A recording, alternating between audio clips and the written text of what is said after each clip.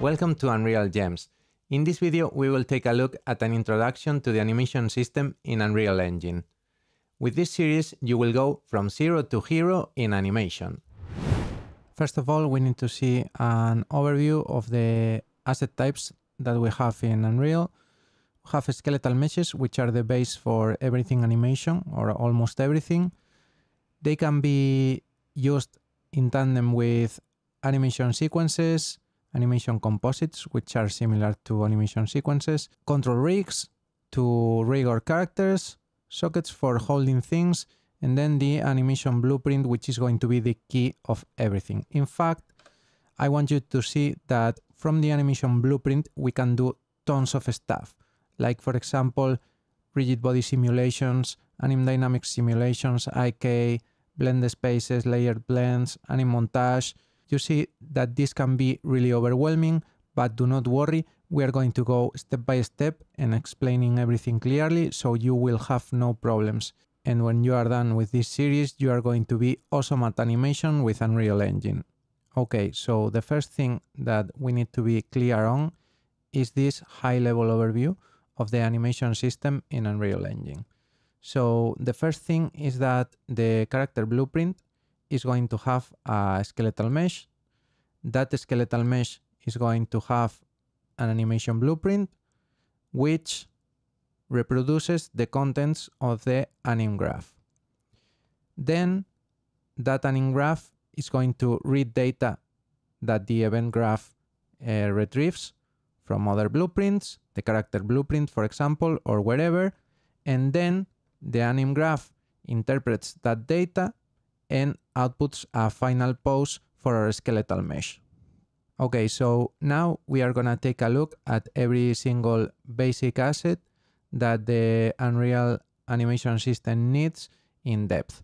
So the first thing that we need to take a look at are these two boxes. First, the skeleton and the associated character model.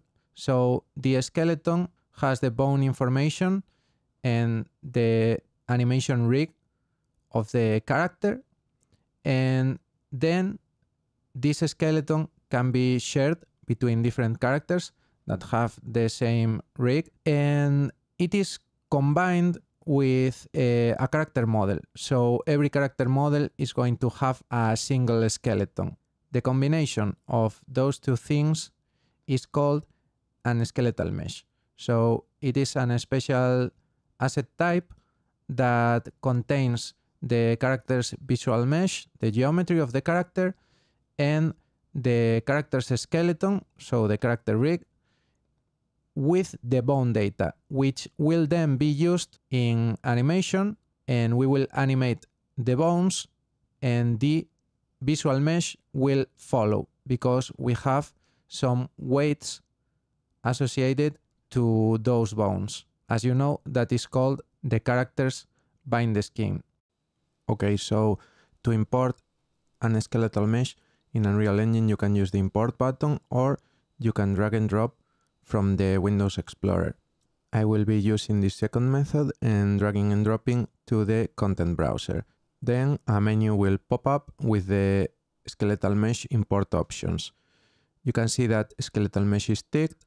Make sure that it really is, because if not, it won't import correctly. Next, you have the import mesh option and the import content type, which is geometry and skinning weights, because we want to import the geometry and the bind skin of our character.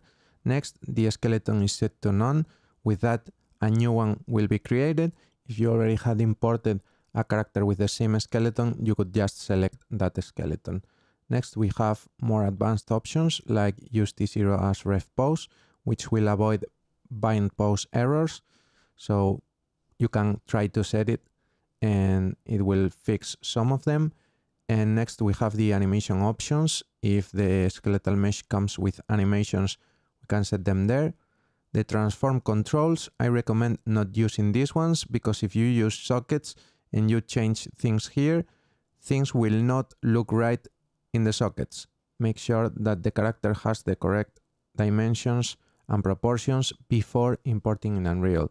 Next, we have the materials, like in the static mesh, we can look for them inside the FBX and create new materials or not. And that's pretty much all. If you click import all, you will see that Unreal Engine starts loading everything into memory and into the content browser. And when it is done, the materials and the skeletal mesh will appear. So here we have everything imported correctly. And now let's take a look at each type of asset. Let's start with the skeletal mesh. You can see that everything is looking good. Our character's geometry has imported correctly and its pose. You can see the skeleton on the left. You can see all of the bones and everything related to the skeleton. There is also a button on the left with a skeleton that you can use to check things related to the skeleton. But let's go back to the skeletal mesh. In asset details, we have the materials and also the LODs and other skeletal mesh options. In the skeleton section, we also have the animation curves and other things related to our skeleton. So just bear that in mind. Next, we have the physics asset editor, which in this case, when you create the skeletal mesh tries to create a physics asset automatically with not much uh, success. And in this case, you can see that you would need to create it manually. I also have a tutorial for that, so go check it out. Next, we have the animation asset browser. Here we have the animation editor and you can see animations, blend spaces, anim montage, whatever animation assets you have associated to the skeletal meshes skeleton.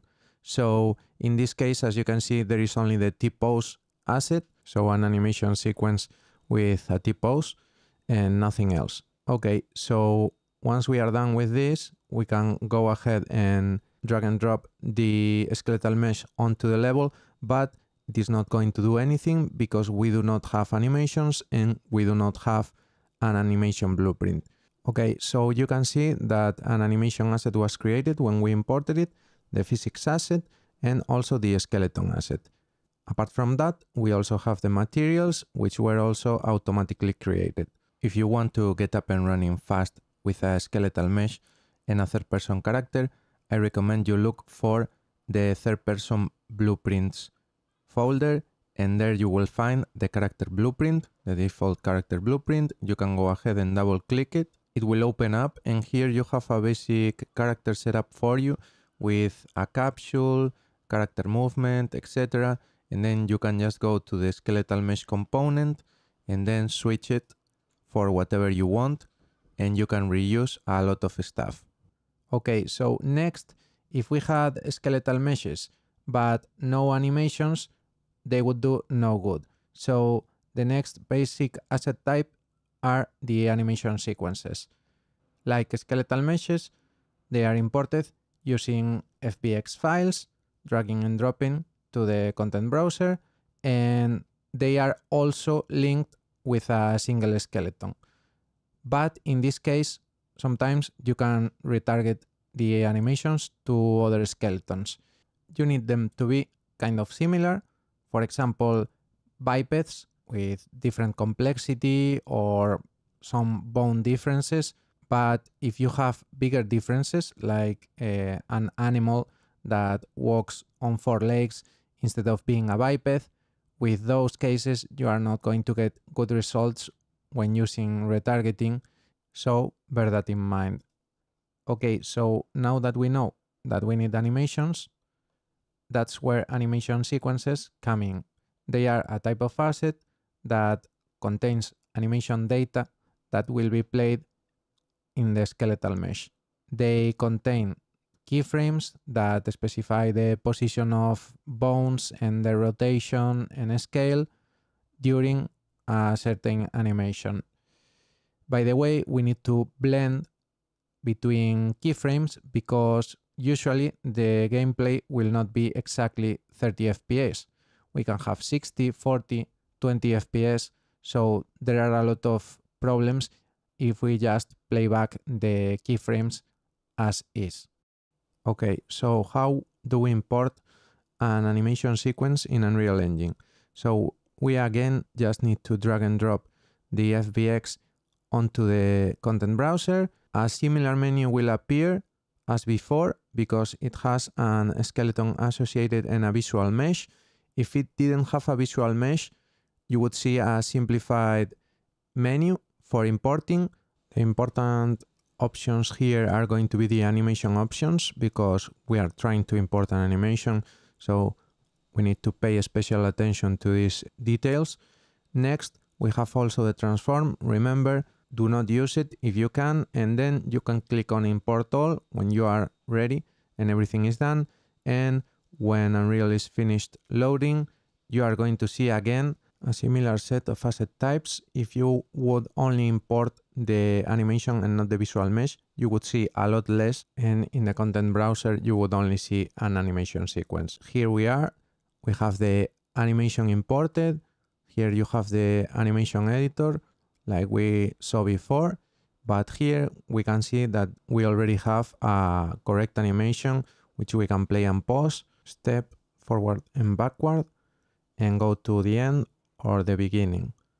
We can also record animations, like for example, if we would make a change in the additive layer tracks, for example, and change the position or transformation of a bone, we could save it to another animation sequence and then reuse it later without having the additive layer track.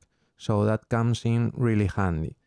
Next on the left, we have the details, the asset details with the options that we can change in our animation sequences.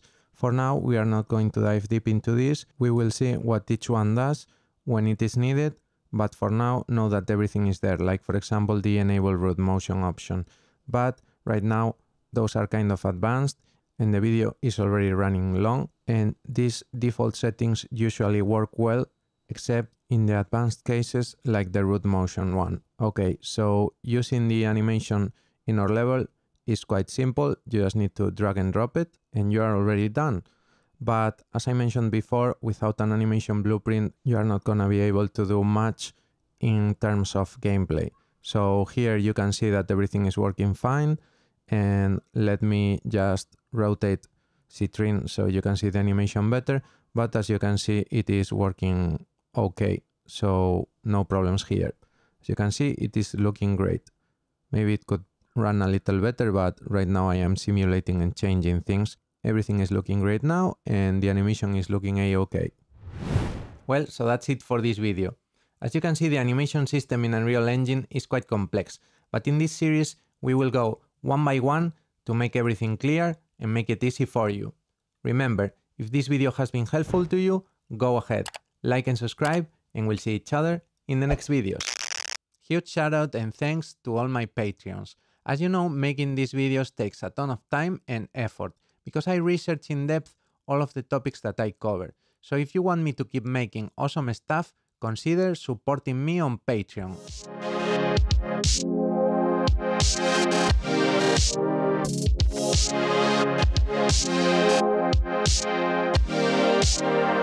We'll